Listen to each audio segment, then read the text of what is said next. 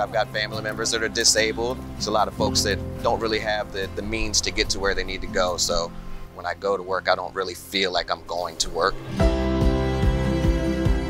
Paratransit is a service that we provide for folks that are uh, either elderly or maybe disabled in some way, for the folks to come and pick them up and get them where they got to go